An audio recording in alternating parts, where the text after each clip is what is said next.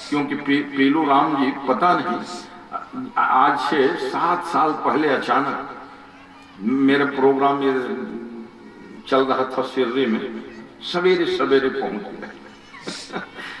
बोले महाराज जी आपका नाम सुनता था।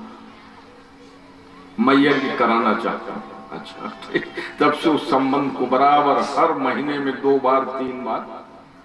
ये तो बार इस बार प्रोग्राम हुआ है तो रोज बात करनी पड़ी। है ना? और नहीं भी रहता है तो दो तीन बार चर्चा होती ही रहती है।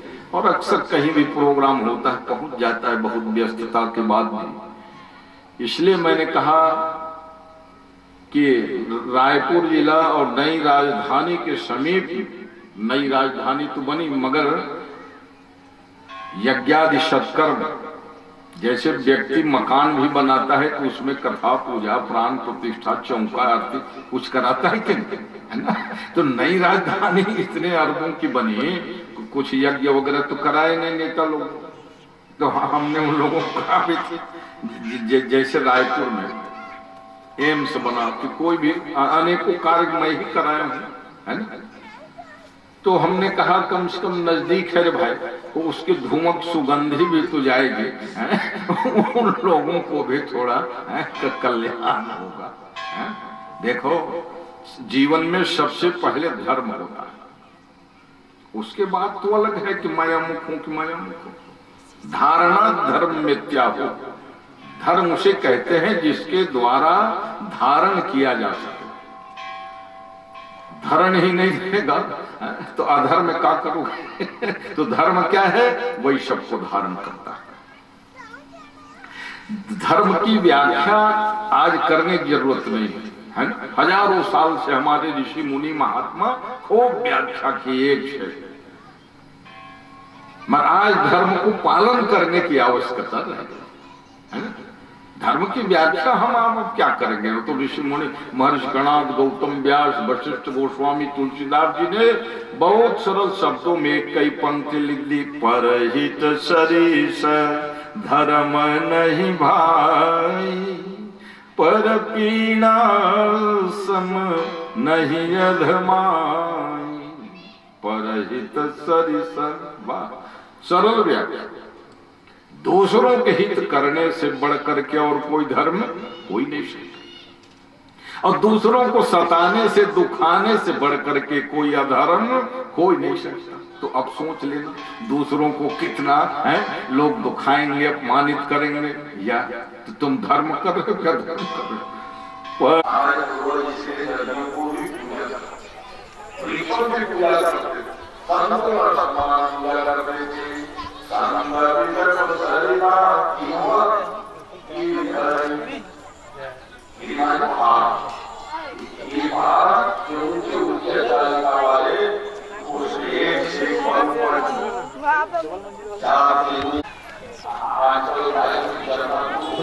छत्तीसगढ़ के पूर्व कृषि मंत्री और छत्तीसगढ़ वित्त आयोग के अध्यक्ष महोदय भैया चंद्रशेखर साहू के लोग आगमन हुए बरगावे बस स्वागत सत्कार के बेरा में वो पहुँच जाते वो ओकरो आगमन हो जही ऐसे हमला संकेत मिले। और भगत मनहा आशीर्वाद प्राप्त करत महाराज श्री से, और खुले मन से। और धन्यवाद आप छत्तीसगढ़ के गौरव मूर्तिकारों, आपके ही संयोजकत्व में। जी, आपो आओ और यथा सत्कार करो। हमारे बीच दीवानंद जी। ये ग्राम पंचायत के सब ग्राम पंचायत निमोरा। साथ ही साथ राधे भवन बारले जी। साथ ही साथ स्वागत के क्रम में मनमोहन कुराते जी, सरपंच प्रतिनिधि श्री पीताम्बर साहू, सोमनाथ साहू। साथ ही साथ मैं निवेदन करत हूँ, समलिया साहू, श्री अनु साहू। आप मन जाओ और यथा योग्य सत्कार करे के कृपा करो।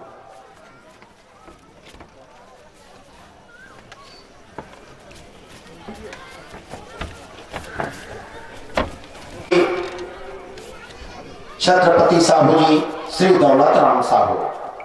श्री छवि साहू जी आओ आकर के स्वागत सत्कार करो। आप मन से निवेदन है। जनपद महो- महोदया शिखा साहू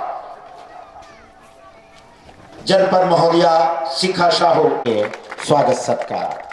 स्वागत बारंबार तिथि वरे। स्वागत तिथि वरे। स्वागत बारंबार। स्वागत बारंबार तिथि वरे। स्वागत बारंबार। आपके नाम है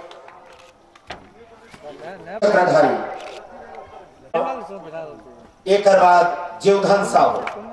भैया जीवधन साहू। आप मूर्तिकारो, आपके स्वागत। बड़ा गौरव के क्षण है। और ये क्षण ला कैमरा में कैद किए जाते फूलमाला से, प्रशस्ति पत्र से आपके सम्मान किए जाते ये बहुत धन्यवाद।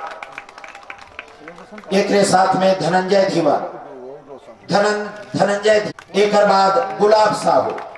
भैया गुलाब साहू, आप आओ। किए जाते हमारे बीच में भैया गोविंद साहू। अमर सिंह, अमर साहू हा कुरुत के रवैया, धन्यवाद। पुष्पराज ध्रुव पिता मंगल सिंह ध्रुव।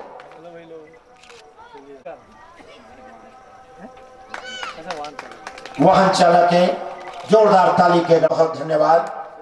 और बिना किसी विलंब के। अब मैं सांसद महोदय भैया चंदूलाल साहू हज़ार होते हैं। न डर है दुश्मनों का, न डर है गुलाम का। अरे, उसे डर है तो ज़िंदगी भर अपनी स्वाभिमान का। ऐसे स्वाभिमानी संस्कारी पुरुष को माइक्रोफोन सागर समर्पित। सहस्त्र चंडी महायज्ञ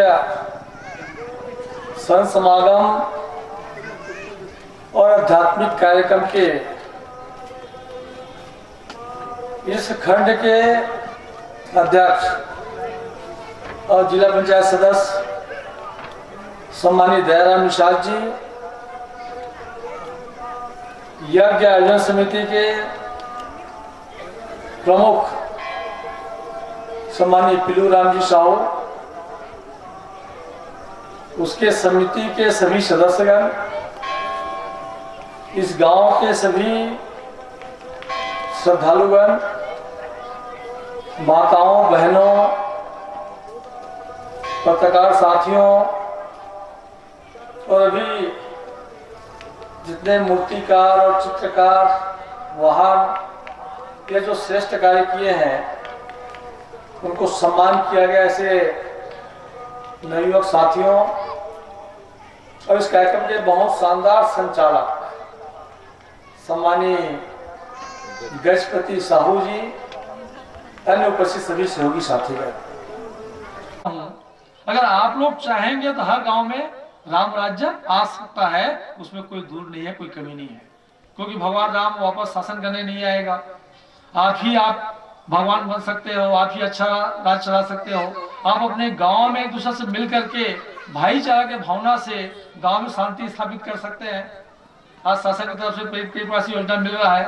योजना का अच्छा उपयोग करके हम एक दूसरे साथ में एक भाई है, दूसरा समाज के भाई है, उससे भी हमारा छत्तीसगढ़ की जो परंपरा है, उससे भी हमारा चाचा, भतीजा, बड़ा का संबंध है। हमारी माता बहने बैठी हुई है।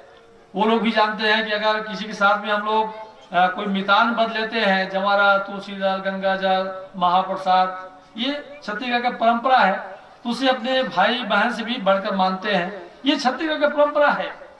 छत्तीसगढ़ परंपरा अगर हम हमारे मोहल्ला में दूसरा समाज के लोग हैं, उनसे भी हमारा चाचा बड़ा का संबंध रहता है। आज हम सब भूल रहे हैं। आज हम अलग अलग जातिवाद में बट रहे हैं। आज अलग अलग हम धर्म संप्रदाय में बट रहे हैं। तो वास्तव में कदर नहीं कर रहे हैं। तो आप सबसे मेरा निवेदन है कि इतना शानदार आध्यात्मिक कार्यक्रम चल रहा है।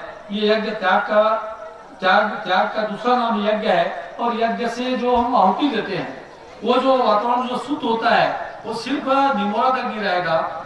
उसका प्रभाव पूरा राज्य तक भी जाएगा, इधर रायपुर तक जाएगा, आसपास में पूरा एक अच्छा वातावरण बनता है। तो जितना हो सके हम अच्छे भावना के साथ में आहुति देंगे तो आहुति वातावरण को शुद्ध करता है। तो ऐसे अच्छा कार्यक्रम में आप लोग बैठे हैं तो आप लोग से मैं निवेदन करना चाहता हूँ कि संकल्प ले, कभी किसी के विरुद्ध में हम बात ना करें, कभी किसी को गाली ना दें। समझता हूँ कि हर गाँव में राम राज्य आ सकता है। अब इसीलिए रामचरित मानस में सब बात बताया गया है। रामचरित मानस हम रामायण को करते हैं, रामायण घर में रखते हैं, रामायण का पूजा करते हैं, लेकिन घर घर में महाभारत हो जाता है। कैसे आपस में लड़ लड़ के पूरा समाप्त हो गया? ये महाभारत करने का नहीं है। महाभारत से हमको प्रेरणा लेना है कि एक परिवार, एक तरफ़ दुर्योधन कौरव थे, एक तरफ़ पांडव युधिष्ठिर और पाँच भाई थे। तो दोनों युद्ध हुए थे कि उसका क्या परिणाम आया? उसे हमको सीख लेकर के इस लड़ाई झगड़े से हम दूर रहे और रामचरित मानस में जो त्याग की भावना बताया, भाई भाई का प्यार बताया, उसको हमको स्वीकार करके उसके हिसाब से जीवन जिए तो निश्चित रूप से हमें बड़े भाग्य से जो मनुष्य जन्म मिला है, वो सौभाग्य हम सबको प्राप्त हुआ है। उसका सदुपयोग करके हम सब अपने जीवन को धन्य कर ले, ऐसा आप सबसे मैं निवेदन करते हुए, ज़्यादा बोलना नहीं चाह लेकिन अब थोड़ा सा लंबा हो गया। तो आप सब लोग मेरे बात को सुने हैं और कोशिश करें कि एक एक गाँव को सुधारें, एक एक मोहल्ला को सुधारें। पूरा स्वच्छ भारत अभियान जो चल रहा है, भारत स्वच्छता की ओर बढ़ रहा है, बहुत सारे योजना भी गरीब लिए बनाया गया है। उन योजनाओं का सही तरीके से फ़ायदा करके हम सब कैसे विकास करें, ये चिंतन करेंगे तो निश्चित रूप से हम सबका सौभाग्य होगा। आप सब लोग उपस्थित हुए। आप सबको इस महान यज्ञ के लिए आप शुभकामना देते हुए मैं अपने बात को विराम देता हूँ। जय हिंद, जय भारत, जय छत्तीसगढ़।